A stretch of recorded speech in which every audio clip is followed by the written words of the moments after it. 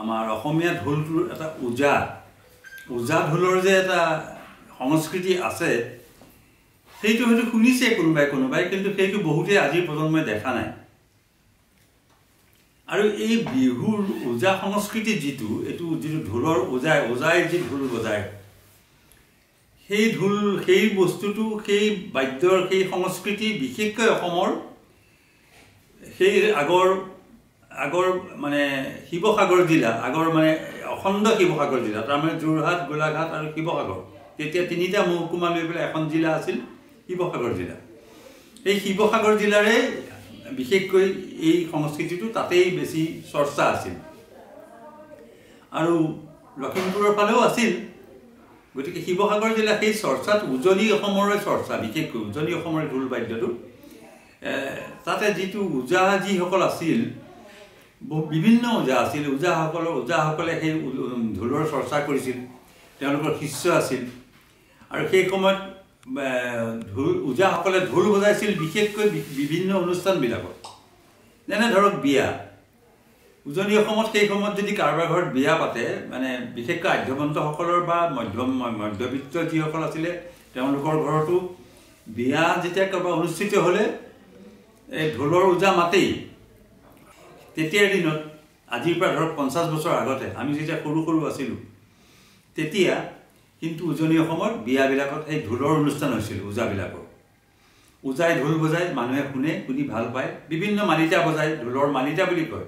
তাৰ বিভিন্ন কাহিনী আছে। সেই কাহিনীবিলাকৰ ওপৰত এবাৰ মুখেৰে গাই যায় লগত পালি থাকে। এজন বা দুজন পালিও থাকে এজন পালিও থাকে। পালিকেইজনে লগত ধৰি যায় ওজাই এবাৰ গায় আৰু পালিকেইজনে তাল বজায় ঢোল ওজাই ঢোল বজায়। আপোনালোকে হয়তো সকলোৱে শুনিছে মঘাই ওজাৰ নাম। আৰু ওজাৰ ভিতৰত অসমত বহুতেই এজন ওজাৰ নামেই জানে সেইজন হৈছে মঘাই ওজা মঘাই ওজাক মই ব্যক্তিগতভাৱে অতি সৰু সৰুতে মোৰ ধৰক দহ বছৰ ন বছৰ দহ বছৰ বয়সৰ পৰাই মই মঘাই ওজাক দেখিছোঁ। কাৰণ মোৰ ঘৰ যোৰহাটত মঘাইৰ ঘৰ মঘাই ওজাৰ ঘৰো যোৰহাটত তেওঁ এজন সৰ্বসাধাৰণ এজন ওজা হিচাপে তেওঁ এজন অতি গুণী শিল্পী কিন্তু এনেই আমাৰ ব্যক্তিগতভাৱে তেওঁ এজন সাধাৰণ মানুহ আছিলে তেওঁৰ বৰ বিশেষ আৰ্থিকভাৱে বৰ টনকিয়াল মানুহ নাছিল।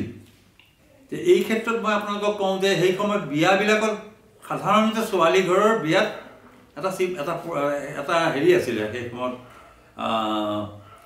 প্ৰথা আছিলে এনেকুৱা বিয়া যেতিয়া পাতে ছোৱালী ঘৰে ওজা ঢোল বজাই এটা যিখন বিয়াৰ ৰভা কৰে সেই ৰভাৰ এটা ছাইডত ওজাক ঢোল বজাবৰ কাৰণে এটা ধুনীয়াকৈ জেগা কৰি দিয়ে। তাতে বজাই মানুহৰ মনোৰঞ্জনৰ কাৰণে মানুহে শুনি ভাল পায়। কেতিয়াবা কেতিয়াবা এনেকুৱা হয় ছোৱালী ঘৰৰ ওজাটো আছেই। দৰাৰ ঘৰে দৰাৰ লগত যি দৰাৰ লগত যি দৰা পাৰ্টি আহে সেই দৰাৰ লগত অহা মানুহৰ লগত দৰা ঘৰেও ওজা এজন লৈ আহে ঢোলৰ ওজা দুজন ওজা যেতিয়া ৰাতি গোট খায় তেতিয়া আকৌ দুইজন ওজাৰ মাজত এটা প্ৰতিযোগিতা চলে। সেই প্ৰতিযোগিতাত কোন এজন হাৰিব আৰু এজন জিকিব। বা কেতিয়াবা ইজনে সিজনক বেছি হৰা জিকা নধৰে আৰু। কিন্তু এই ক্ষেত্ৰত এটা মন কৰিবলগীয়া কথা আকৌ এনেকুৱাও আছে ঢোলৰ এই ওজাৰ ক্ষেত্ৰত বহুতে হয়তো নাজানে ইয়াত মানে ভাল ধৰণে বজোৱা ঢোলৰ ওজাপালিও আছে আৰু বেয়া বেয়া ওজা বেয়াৰ ঢোল বেয়া ধৰণে বজোৱা ঢোলৰো ওজাপালি আছে। তাৰমানে যদি দুইজন দৰাঘৰীয়া বা কইনাঘৰীয়া ওজাৰ মাজত যদি বন্ধুত্বপূৰ্ণভাৱে ঢোল প্ৰদৰ্শন কৰি থাকে তেতিয়া একো নাই। কিন্তু কিবা কিবা কাৰণত যদি ইজনে সিজনক আক্ৰমণ কৰে বা ইজনে সিজনক হেয় কৰিবলৈ বিচাৰে যে মইহে আচল ওজা তুমি কোন কোটা মোৰ আগত? এনেকুৱা কৰি যদি তেনেকুৱা আচৰণ কৰে কোনোবা এজন ওজাই তেতিয়া সিজনে তেওঁ তেওঁহে তেওঁ যে ইজনতকৈও কম নহয় সেইটো দেখুৱাবৰ কাৰণে তেওঁ আৰু তেওঁ বেলেগ ধৰণৰ বাদ্য দেখুৱায়। এইবিলাকৰ লগত কিছুমান যাদু মন্ত্ৰৰ নিচিনা কথা থাকে। কেনেকুৱা থাকে আপুনি আমি আমি তাত কাহানি শুনোতে মই নিজেও দেখিছোঁ এবাৰ তেনেকুৱা নেদেখা নহয়। তাত আমাৰ সামাজিকভাৱে সেইটো তাত মানুহে কয় যে বান মৰা বুলি কয়। ঢোলৰ ঢোলে ওজাই বান মাৰে। মানে বান মাৰে মানে কি কিবা মন্ত্ৰ মাৰে। কি কৰে? মানে আপুনি ঢোল বজাই থাকোঁতে ঢোলৰ মাৰিডাল ভাগি যাব। আৰু ঢোল বজাই থাকোঁতে ঢোলৰ ছালখন ফাটি যাব। ঢোল ফাটি যাব। সেইকাৰণে ঢোলৰ ওজাবিলাকে এটা এটা ঢোল নানে। তাহাঁতে দুটা দুটা ঢোল লৈ আহে। মাৰিও তেনেকৈ দুডাল তিনিডাল লৈ আহে। আকৌ এনেকুৱাও দেখি হয় অৱশ্যে তেনেকুৱা পৰ্যায়লৈ মই দেখা নাই কিন্তু শুনিছোঁ। যে একেবাৰে মানে ঢোলৰ ওজা মানে যদি বেছি উগ্ৰ হৈ যায় মানে উগ্ৰ হৈ পেলাই যদি আক্ৰমণ কৰে ইজন হেৰি ওজাক ঢোলৰ চেৱৰে কৰে দেই সেইটো হাতেৰে হাতে হাত লগাব নালাগে ফিজিকেলি নহয়। সেইটোত একেবাৰে মানে মাটিত বাগৰি পৰি যায়। এনেকুৱা ধৰণৰ কথাবিলাকো আছিলে। আৰু ভালভাৱে বজোৱা ঢোলৰো আছিলে সেইবিলাকো আছিলে। এই ধৰণে বিভিন্ন চৰ্চা আছিল ঢোলৰ। তাৰপিছত সেইবোৰ তেনেকেই সেই চলি আছিল। কিন্তু এটা সময়ত ঢোলৰ এই ওজা ঢোলৰ এই প্ৰদৰ্শনীটো আমাৰ আমাৰ যিবিলাক সংগীতানুষ্ঠান আমাৰ সাধাৰণতে য'ত আমাৰ আমি ফাংচন বুলি কয় আজিকালি সংগীতানুষ্ঠানবিলাকলৈ ষ্টেজৰ ওপৰলৈ ঢোলৰ ঢোলৰ মানে এই অনুষ্ঠান প্ৰদৰ্শন লাহে লাহে ষ্টেজলৈ আহিল। এইটো আহিল কেনেকৈ? তেতিয়াৰ দিনত খুব লিমিটেড কিছুমান আইটেম থাকে। আধুনিক গীতৰ কেইজনমান থাকে বনগীত থাকে ভজন থাকে। তাৰপিছত দশৱতাৰ নৃত্য থাকে আৰু ঢোলৰ প্ৰগ্ৰেম থাকে। এই ঢোলৰ প্ৰগ্ৰেমটো কেনেকৈ আহিলে? ঢোলৰ প্ৰগ্ৰেমটো অহাৰ গুৰিতে হ'ল মঘাই ওজা। সেই সময়ত আমি শুনামতে ভাৰতীয় গণনাট্য সংঘৰ সেই সময়ৰ মানে সক্ৰিয় সদস্য আছিল ভূপেন হাজৰিকাদেৱ আৰু হেমাংগ বিশ্বাস আছিল বলৰাজ চাহানী আছিল। তেওঁলোকৰ সান্নিধ্যলৈ আহিছিল মঘাই ওজা। অহাৰ পিছত কি হ'ল? ইয়াৰ পৰা এটা সাংস্কৃতিক দল অসমৰ পৰা ৰাছিয়ালৈ যোৱাৰ কথা আছিল। সাংস্কৃতিক দলত বিভিন্নজন যাব তাৰ লগত মঘাই ওজাও সাংস্কৃতিক দলত ৰাছিয়ালৈ যাব। যেতিয়া এই কথাটো খাটাং হ'ল যে মঘাই ওজা সাংস্কৃতিক দলত যোৰহাটৰ পৰা হেৰিলৈ যাব ৰাছিয়ালৈ যাব। সেই সময়ত সেইটো এটা ডাঙৰ খবৰ আৰু বাতৰি কাকতত সেইটো মঘাই ওজাৰ ফটোসহ সেইটো সেই খবৰ খুব ডাঙৰ ডাঙৰকৈ চফা কৰি পেলাই বিভিন্ন কাকতে পত্ৰই ওলাইছিল বিভিন্ন সময়ত। আৰু সেই খবৰ চপা হোৱাৰ পিছৰ পৰা মঘাই ওজা বিশেষকৈ বিভিন্ন ওজা থাকিলেও মঘাই ওজাই বেছি সমাদৰ আৰু বেছি সুনাম পাবৰ বেছি বেছি প্ৰখ্যাত হ'ব বা বিখ্যাত হোৱাৰ এটা সুযোগ লাভ কৰিলে। সেইটোৱে এটা যোগসূত্ৰ। তাৰপিছত তাৰ পৰা মঘাই ওজাক নাম সকলোৱে জনা হ'ল। তেখেতৰ ফটো ছপা হ'ল পেপাৰত। আৰু তেখেতক তাৰপিছত এই সংগীতানুষ্ঠানবিলাকত ষ্টেজত ঢোল বজাবলৈ মাতি নিমন্ত্ৰণ কৰা হ'ল। তাৰপিছত তেওঁ অন্যান্য বিবাহ বিয়া বা অন্যান্য উৎসৱত যেনেকৈ ঢোল বাদন কৰে আহি পেলাই ফাংচনবিলাকতো ষ্টেজত আহি পেলাই ঢোল বাদনৰ অনুষ্ঠান পৰিৱেশন কৰে।